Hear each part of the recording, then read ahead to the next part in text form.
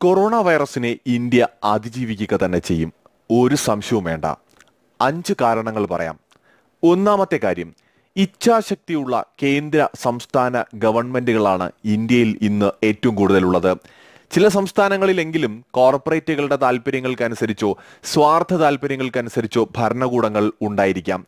പക്ഷേ ഈ സാഹചര്യത്തിൽ ബഹുഭൂരിപക്ഷം വരുന്ന ഇന്ത്യൻ സ്റ്റേറ്റുകളിലും ഉള്ളത് ഇച്ഛാശക്തിയുള്ള ഭൂരിപക്ഷമുള്ള മികച്ച നിലയിൽ പ്രവർത്തിക്കുന്ന സർക്കാരുകൾ തന്നെയാണ്. ഉദാഹരണത്തിന് കേരളം തന്നെ എടുത്തുകൊള്ളൂ. കൊറോണ എന്ന ഈ മഹാമാരിക്കെതിരെ കേരളം എടുക്കുന്ന മുൻകരുതലുകളും നടപ്പിലാക്കുന്ന പദ്ധതികളും തന്നെയാണ് ഈ വിഷയത്തിൽ ഏറ്റവും വലിയ ഉദാഹരണം എന്ന് പറയുന്നത്. അതുപോലെ തന്നെ തമിഴ്നാടാണെങ്കിലും കർണാടകയാണെങ്കിലും ആന്ധ്രാപ്രദേശ് ആണെങ്കിലും വിവിധ സംസ്ഥാനങ്ങളെടുത്ത് പരിശോധിച്ചാൽ എന്തിനേറെ വെസ്റ്റ് ബംഗാൾ പോലും ഈ വിഷയത്തിൽ വളരെ ഗൗരവത്തോടെ തന്നെയാണ് ഓരോ കാര്യങ്ങളും ചെയ്യുന്നത്. പഞ്ചാബും രാജസ്ഥാനും ഒക്കെ ഉദാഹരണമാണ്. ആ സ്ഥിതിക്ക് നമുക്ക് ഒരു കാര്യം ഉറപ്പിക്കാം.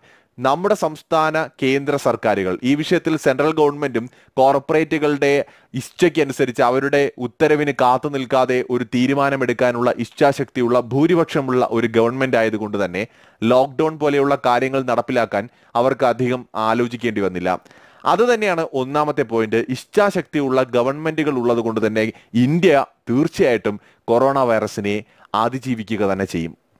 രണ്ടാമത്തെ പ്രധാനപ്പെട്ട ഒരു പോയിന്റ് എന്ന് പറയുന്നത് നമ്മുടെ രാജ്യത്ത് വലിയ ജനസംഖ്യ ഉണ്ടെങ്കിലും ഈ ജനസംഖ്യയിൽ നമുക്ക് ഉപയോഗപ്പെടുത്താൻ കഴിയുന്ന ഒരു മാൻ പവർ ഉണ്ട്. ആരോഗ്യ പ്രവർത്തകരുടെ എണ്ണം തന്നെ എടുത്തുകൊള്ളുക. വളരെ വലിയൊരു ആരോഗ്യ പ്രവർത്തകരുടെ എണ്ണമുണ്ട് ഇന്ത്യയിൽ. ഈ ആരോഗ്യ പ്രവർത്തകർ നമുക്കറിയാം കേരളത്തിലടക്കം അവർ ചെയ്യുന്ന കാര്യങ്ങൾ തന്നെയാണ് ഉദാഹരണം. ഈ വലിയ ജനസംഖ്യ തന്നെ ഇന്ത്യയ്ക്ക് ഒരു തരത്തിൽ ഗുണമായി മാറും. മറ്റു പല രാജ്യങ്ങളിലും കാര്യങ്ങൾ ചെയ്യാൻ ആരോഗ്യ പ്രവർത്തകരില്ല അല്ലെങ്കിൽ പല മേഖലകളിലും പ്രവർത്തനങ്ങൾ നടത്താനുള്ള ആളുകളുടെ അപര്യാപ്തതയുണ്ട്.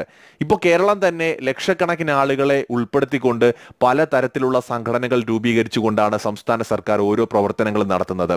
ചൈനയിൽ നമ്മളിത് കണ്ടതാണ്. ചൈനയിലും അവരെ ഏറെ സഹായിച്ചത് ആരോഗ്യ പ്രവർത്തകരുടെ ഇടപെടലുകൾ തന്നെയാണ്. സോ ഇന്ത്യയെ സംബന്ധിച്ചിടത്തോളം അതിജീവിക്കുവാൻ ഏറ്റവും വലിയ കരുത്തായി മാറുന്നത് നമ്മുടെ എല്ലാം മറന്നുകൊണ്ട് രാജ്യത്തിന് സമർപ്പിച്ച് ജനങ്ങളെ സേവിക്കാനായി ഇറങ്ങി പുറപ്പെടുന്ന ആരോഗ്യ പ്രവർത്തകർ തന്നെയാണ്. മൂന്നാമത്തെ പോയിന്റ് എന്ന് പറയുന്നത് ഒരു വലിയ രാജ്യമായതുകൊണ്ട് തന്നെ ഇവിടെ ധാരാളം ഹോസ്പിറ്റലുകളും അതിനുവേണ്ട ഫെസിലിറ്റീസും ഉണ്ട് എന്നത് തന്നെയാണ്. മറ്റു പല രാജ്യങ്ങളെയും അപേക്ഷിച്ച് നമ്മുടെ കേരളം തന്നെ എടുത്തുകൊള്ളുക ഓരോ ജില്ലയിലും എത്രമാത്രം ഹോസ്പിറ്റലുകളും ക്ലിനിക്കുകളുമാണ് ഉള്ളത്. ആവശ്യഘട്ടത്തിൽ ഇവയെല്ലാം തന്നെ നമുക്ക് ഉപയോഗപ്പെടുത്താൻ കഴിയും. ഇവിടെയും നമ്മുടെ മാൻ പവറും ആരോഗ്യ പ്രവർത്തകരെയും ഒക്കെ എടുത്തു പറയേണ്ടതാണ്. ഇപ്പോൾ ഡോക്ടർമാരുടെ എണ്ണമാണെങ്കിലും നഴ്സുമാരുടെ എണ്ണമാണെങ്കിലും ഇന്ത്യയിൽ വളരെ ഉയർന്ന അളവിൽ തന്നെ അതുണ്ട്. അതുകൊണ്ട് തന്നെ അടിയന്തര സാഹചര്യത്തിൽ ഇതെല്ലാം നമുക്ക് ഉപയോഗപ്പെടുത്താൻ കഴിയുക തന്നെ ചെയ്യും. അതിനാൽ തന്നെ കൊറോണ വൈറസ് പോലെയുള്ള മഹാമാരികളെ അതിജീവിക്കാൻ നമുക്ക് കഴിയുമെന്ന കാര്യം ഉറപ്പാണ്.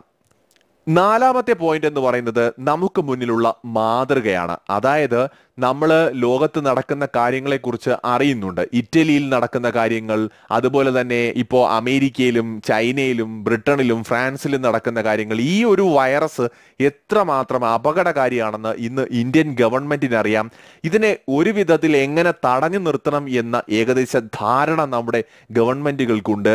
അതുപോലെ തന്നെ പൊതുജനങ്ങൾക്കും ഈ വൈറസിനെ കുറിച്ച് ഇപ്പോൾ ഏകദേശ ധാരണയുണ്ട്. അതുകൊണ്ടാണ് ഈ വലിയ ജനസംഖ്യയുള്ള രാജ്യം ലോക്ക്ഡൌണിനോട് ഇത്രയും അനുകൂലമായിട്ട് സഹകരിക്കുന്നത് വളരെ ചില ഒറ്റപ്പെട്ട സംഭവങ്ങൾ മാറ്റി നിർത്തിയാൽ തീർച്ചയായിട്ടും ഭൂരിപക്ഷം വരുന്ന ഇന്ത്യക്കാർക്കും എന്താണ് കൊറോണ വൈറസ് എന്നും ഇതിനെ എങ്ങനെ പ്രതിരോധിക്കണമെന്നും ഒരു ഏകദേശ ധാരണയുണ്ട്. ഇത് തന്നെ ഒരു വലിയ അനുകൂല ഘടകമാണ്. തീർച്ചയായിട്ടും ഈ ഒരു ഘടകവും നമുക്ക് ഈ ഒരു വൈറസിനെ പ്രതിരോധിക്കാനായിട്ട് ഗുണം ചെയ്യും. അഞ്ചാമത്തെ പോയിന്റ് എന്ന് പറയുന്നത് നമ്മുടെ മാധ്യമങ്ങളാണ്.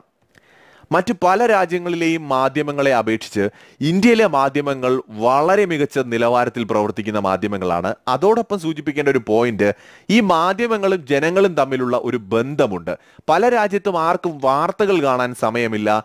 വാർത്തകൾ കേൾക്കാൻ സമയമില്ല. അവരുടെ ലൈഫ് സ്റ്റൈൽ തന്നെ ഡിഫറെന്റ് ആയിരിക്കുമ്പോൾ നമ്മൾ മലയാളികളാണെങ്കിലും ഇന്ത്യക്കാരാണെങ്കിലും വാർത്തകൾക്ക് വേണ്ടി പ്രത്യേക സമയം കണ്ടെത്തുന്ന സ്വഭാവക്കാരാണ്. എല്ലാ ദിവസവും ഒരു മണിക്കൂറെങ്കിലും വാർത്ത കാണാത്ത പുരുഷന്മാർ ഇന്ത്യയിൽ ഉണ്ടാവില്ല. ഒരു പത്ത് മിനിറ്റെങ്കിലും വാർത്ത കാണാത്ത സ്ത്രീകൾ ഉണ്ടാകില്ല. ഇത്തരത്തിൽ ഇവിടെയുള്ള മനുഷ്യരും മാധ്യമങ്ങളും തമ്മിലുള്ള ദൃഢമായ ഒരു ബന്ധം അല്ലെങ്കിൽ മാധ്യമങ്ങൾക്ക് നമ്മൾ നൽകുന്ന പ്രാധാന്യവും അതുപോലെ മികച്ച നിലവാരത്തിൽ പ്രവർത്തിക്കുന്ന മാധ്യമങ്ങളും നമ്മളെ വളരെ വലിയ രീതിയിൽ തുണയ്ക്കും. അപ്പോ അപ്പോ കാര്യങ്ങൾ അറിയുവാനും മുൻകരുതലുകൾ സ്വീകരിക്കുവാനും ഒക്കെ ഇത് വളരെ വലിയ രീതിയിൽ ഗുണം ചെയ്യും. അഞ്ച് പോയിന്റുകളാണ് നമ്മൾ പറഞ്ഞതെങ്കിലും ഒരു ബോണസ് പോയിന്റ് കൂടി പറയാനുണ്ട്. ഈ പോയിന്റ് വളരെ പ്രധാനപ്പെട്ടതാണ്. ഇപ്പൊ ഇറ്റലി യൂറോപ്യൻ രാജ്യങ്ങൾ അമേരിക്ക ഓസ്ട്രേലിയ ഇവിടെയൊക്കെ വീക്കെൻഡുകൾ വളരെയധികം ആഘോഷമാക്കുന്ന കാര്യങ്ങളാണ്. വീക്കെൻഡുകൾ എന്ന് പറഞ്ഞാൽ അഞ്ച് ദിവസം ജോലി ചെയ്യുക അല്ലെങ്കിൽ ആറ് ദിവസം ജോലി ചെയ്യുക ഏഴാമത്തെ ദിവസം അല്ലെങ്കിൽ ആറാമത്തെ ദിവസം അടിച്ചു പൊളിച്ച് ജീവിക്കുക. അതാണ് അവരുടെയൊക്കെ ഒരു ലൈഫ് സ്റ്റൈൽ എന്ന് പറയുന്നത്. അടിച്ചുപൊളി എന്ന് പറയുമ്പോൾ മദ്യപാനം പബ്ബുകളിൽ പോവുക അങ്ങനെ എക്സെട്ര എക്സെട്ര എക്സെട്ര നമുക്ക് അങ്ങനെ ഒരുപാട് കാര്യങ്ങൾ അവിടെ വരച്ചു തീർക്കാം. എല്ലാവരും അല്ലെങ്കിലും ഭൂരിപക്ഷം ആളുകളും അങ്ങനെ തന്നെയാണ്. വിദേശത്ത് പ്രത്യേകിച്ച് യൂറോപ്പിലും അമേരിക്കയിലും ഒക്കെ ഉള്ള ആളുകൾക്ക് അറിയാം വീക്കെൻഡുകൾ എന്ന് പറയുന്നത് അവർക്ക് ആഘോഷമാണ്. അപ്പോൾ അവർക്കിടയിൽ ഇപ്പോൾ നമുക്കറിയാം ഹസ്തദാനം ഹഗ് ചെയ്യുക കിസ് ചെയ്യുക ഇതൊക്കെ എന്ന് പറയുമ്പോൾ ഒരു ലൈഫ് സ്റ്റൈലിന്റെ ഭാഗമാണ് കാഷ്വലായിട്ട് തന്നെ അവർ പെരുമാറുന്ന രീതി എങ്ങനെയാണ് നമ്മൾ ഒരാളോട് ഒരു നമസ്കാരം പറയുന്ന പോലെ ഒരു ഹായ് പറയുന്ന പോലെ അവർ പെട്ടെന്ന് ഒരാളെ കണ്ടാൽ ഒന്ന് ഹഗ് ചെയ്ത് കവിളിലൊരു ഉമ്മ വയ്ക്കുന്ന ആ ഒരു ജീവിത രീതിയാണ് അവരുടെ ഒരു ലൈഫ് സ്റ്റൈൽ അതുപോലെ തന്നെ ഷെയ്ക്ക് ഹാൻഡ് അനാവശ്യമായിട്ട് എപ്പോഴും ഷെയ്ക്ക് ഹാൻഡ് ചെയ്യുന്ന ഒരു ടെൻഡൻസി അവരിൽ പലർക്കുമുണ്ട്. അടുത്ത് നിന്ന് സംസാരിക്കുന്ന രീതിയുണ്ട്. കുറച്ചുകൂടി അവർ ആളുകൾ തമ്മിൽ വളരെ അടുത്ത് ഇടപഴകുന്ന ഒരു രീതിയാണ് അവിടെ കൂടുതലുള്ളത്. അത് ഈ ഒരു വൈറസിന്റെ വ്യാപനത്തെ വലിയ തോതിൽ വർദ്ധിപ്പിച്ചിട്ടുണ്ട്. ഇറ്റലിയും അമേരിക്കയും ഒക്കെ കൺട്രോൾ ചെയ്യാൻ പറ്റാത്ത തരത്തിൽ ഈ വൈറസിന്റെ വ്യാപനം ഉണ്ടായതിന് ഇതൊരു വലിയ പങ്ക് വഹിച്ചിട്ടുണ്ടെന്ന് തന്നെയാണ് മനസ്സിലാവുന്നത്. ആ കാര്യത്തിൽ ഇന്ത്യ പക്ഷേ കുറച്ചുകൂടി ഡിഫറന്റ് ആണ്. ഇന്ത്യ കുറച്ചുകൂടി റെസ്പെക്റ്റോട് കൂടിയാണ് എല്ലാ ആൾക്കാർക്കിടയിലും പെരുമാറുന്നത് സുഹൃത്തുക്കൾക്കിടയിലും ബന്ധുക്കൾക്കിടയിലും മാത്രമാണ് ആ ഒരു ഇന്റിമസി ഉണ്ടാവുന്നത് അല്ലെങ്കിൽ ആ ഒരു കൂടുതൽ അറ്റാച്ച്മെന്റും അടുത്തിടപഴകലും ഒക്കെ ഉണ്ടാവുന്നത്. ആരെ കണ്ടാലും പോയി കെട്ടിപ്പിടിച്ച് ഒരു ഉമ്മ കൊടുത്ത് പരിചയപ്പെടുന്ന രീതി ഒരു സംസ്കാരം ഇവിടെ ഇല്ലാത്തത് ഈ ഒരു അവസരത്തിൽ ഗുണം ചെയ്യും. ആ ഒരു സംസ്കാരം തെറ്റെന്നല്ല കേട്ടോ പറയുന്നത്. ആ ഒരു യൂറോപ്യൻ കൾച്ചർ അവരെ സംബന്ധിച്ച് അത് ശരിയാണ്. ഇന്ത്യയെ സംബന്ധിച്ച് അങ്ങനെ ഒരു രീതി ഇവിടെ ഇല്ലാത്തത് ഈ ഒരു അവസരത്തിൽ ഈ വൈറസ് വ്യാപനത്തെ ആ രീതിയിൽ വർദ്ധിപ്പിക്കില്ല. മാത്രമല്ല ഇപ്പോൾ മുൻകരുതലുകൾ കൂടി എടുത്തിട്ടുള്ളത് കൊണ്ട് നമുക്കത് ഗുണകരവും കൂടിയാവും. സോ ഇത്രയും പോയിന്റുകളാണ് ഇപ്പോൾ പറയാനുള്ളത്. Good bye